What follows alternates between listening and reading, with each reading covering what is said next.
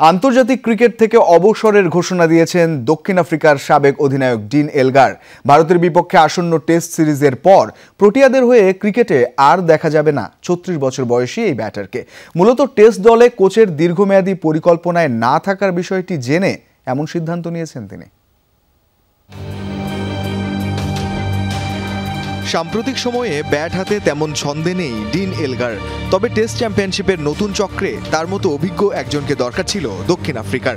ভারতের পর নিউজিল্যান্ডের বিপক্ষেও টেস্ট সিরিজ রয়েছে প্রোটিয়াদের।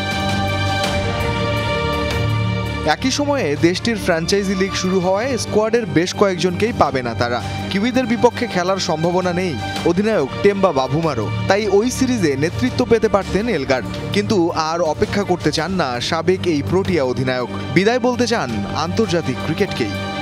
ক্রিকেট খেলা সবসময়ই আমার স্বপ্ন ছিল। তবে দেশকে প্রতিনিধিত্ব করার সুযোগের চেয়ে বড় কিছু নেই। আন্তর্জাতিকভাবে বারো বছর ধরে সেটি করতে পারা আমার স্বপ্নের সীমাকেও ছাড়িয়েছে। দুর্দান্ত এক ভ্রমণ, যেটি পেয়ে আমি ভাগ্যবান। দক্ষিণ আফ্রিকার লাল বলের কোচ সুক্রি কনরাডের দীর্ঘমেয়াদী পরিকল্পনায় ছিলেন না এলগার। মূলত এরপরই নিজের ব্যক্তিগত সিদ্ধান্তের কথা জানিয়ে দেন তিনি। আর দেশের মাটিতে ভারতের বিপক্ষে সিরিজই আমার শেষ। সুন্দর এই খেলা থেকে আমি অবসরের সিদ্ধান্ত নিয়েছি। যে খেলা আমাকে অনেক কিছু দিয়েছে। কেপটাউন টেস্টই আমার শেষ ম্যাচ, যেটি আমার সবচেয়ে প্রিয় ভেন্যু। এখানে আমি নিউজিল্যান্ডের বিপক্ষে আমার প্রথম রান করেছিলাম। আশা করি শেষটিও করব।